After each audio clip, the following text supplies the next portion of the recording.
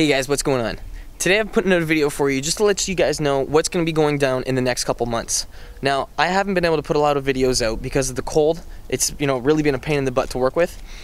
Um, but also I haven't had a lot of time. School, I'm still in it, so, you know, I've got to really work around that schedule. But now that it's starting to get warmer, and now that school's going to be done soon, I'm going to be putting out a lot of videos for you regarding cars. Now, I'm going to be putting videos out on both channels. The channel right now, the Milan Mastracci one, and the other Sick Dips channel.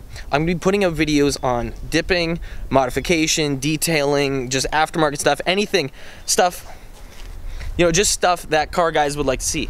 So, I'm going to show you guys what I have right now. This is my car. It's in its winter spec mode. Um, it's got its dip on it right now, and it's dirty as hell.